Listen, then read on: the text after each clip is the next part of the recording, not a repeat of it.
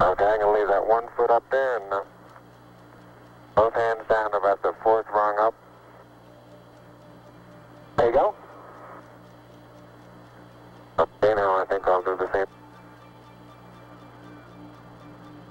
El día de la llegada del hombre a la luna, eso sí que, eh, eso no, no, lo podremos olvidar, ninguno de todos los que hemos trabajado. Eh, el, proyecto Apolo era un proyecto, mm, yo creo que era de emoción, emoción que sentíamos todos, pero sentíamos, sentían también todos los americanos. Cuando yo estaba en los Estados Unidos, antes de llegar del lanzamiento del Apolo 11, pues hablabas con la gente y cuando sabías que estabas trabajando para el Apolo 11 era mm, como que mm, eras una persona muy bienvenida. Eh, eh, la gente estaba encantada de decir yo contribuyo con mi dólar al proyecto Apolo. Todo el mundo decía que contribuía con al menos con un dólar al proyecto Apolo.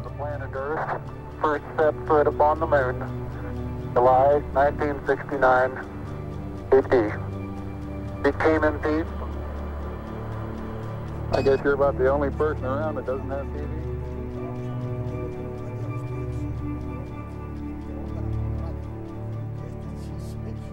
empezaba la carrera de telecomunicación a ser considerada como la carrera del futuro. Eh, los, los, los, ingenieros de comunicación principalmente decimos, ¿y ese futuro cuándo llega? Pero vaya, finalmente creo que para la telecomunicación el futuro llegó en su momento. Terminamos la carrera y yo tuve la gran suerte de que eh,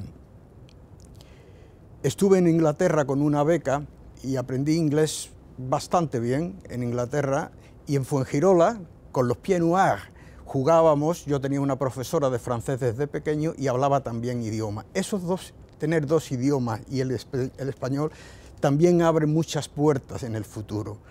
Y entonces al salir de la, universidad, de la, Escuela de, Telecomunicación en, Madrid, pues algunas empresas venían ya a buscar, ya te querían ingenieros, nos ofrecían los puestos y yo elegí el puesto con Standard Eléctrica, que era la compañía que fabricaba casi todos los equipos de telecomunicación para Telefónica. ¿Cuándo había sentido yo el interés por, el espacio? Y, y siempre creo que debo decir que el primero que recibí fue Tuve una beca mm, del gobierno francés en el último curso de carrera que nos paseó por todas las industrias francesas y me llevó a una estación que era la primera estación de comunicaciones espaciales que se había puesto en Francia. Estaba en Plemer-Baudou, en la Bretaña francesa. Eh, si la miran en internet verán que hoy ya es un, es, es monumento nacional, parece el cuerno de la abundancia y allí estuvimos, mm, nos permitieron, como, como estudiantes que éramos, participar en las primeras transmisiones de televisión en color en el sistema SECAM entre Moscú y París vía la estación de Plemer-Boudou. Yo ya vine encantado qué trabajo tan bonito el, hacer eso. En los dos años que estuve en estándar hacía otro que yo consideraba que era un trabajo, pues no sé, de producción.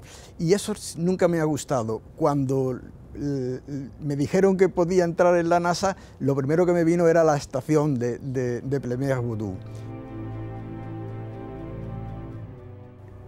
España eh, tenía un instituto que fue para el que yo empecé a trabajar, porque nosotros no éramos empleados oficiales, no, éramos funcionarios de NASA, éramos personal civil no, al civil no militar de la administración, al civil no funcionario de la administración militar. Y el Instituto Nacional de Técnica Aeroespacial era quien nos contrataba y de alguna manera nos cedía para trabajar con la NASA pero normalmente dependíamos de ellos, pero tampoco éramos funcionarios oficiales. Yo llegué a ser funcionario y después mediante, mediante una, una, una posición que tuve que hacer y pasar.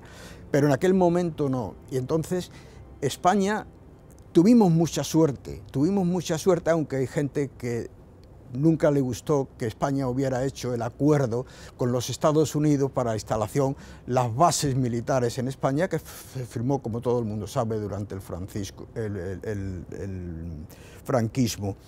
En ese acuerdo, la NASA, que necesitaba tener estaciones por Europa, pues tomó la gran decisión, debido a que tenía una gran eh, centro de, para aviones en, Torrejón, que podían traer mm, aviones grandes, los Galaxy, para traer piezas grandes desde los Estados Unidos, y ahí además había, continuamente había aviones que traían y, llevaban, y llevaban piezas para la NASA, porque era un transporte federal.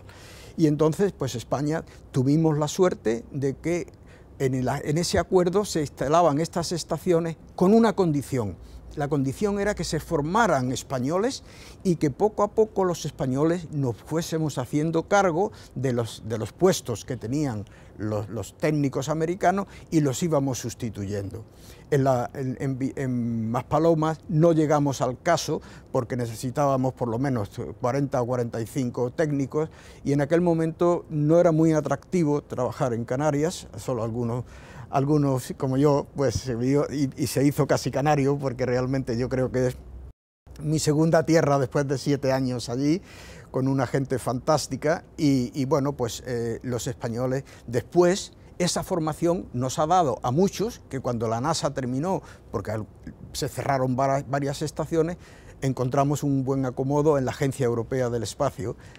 Un cambio muy interesante. Eh, yo creo que era un, yo consideraba, cuando empecé a trabajar para la ESA, que estaba todavía en pañales porque realmente la Agencia, la Agencia Europea del Espacio se fundó en 1975. Yo empecé, eh, mm, yo empecé a trabajar eh, en, el año 1976, mm, es decir, hacía un año que la agencia se había...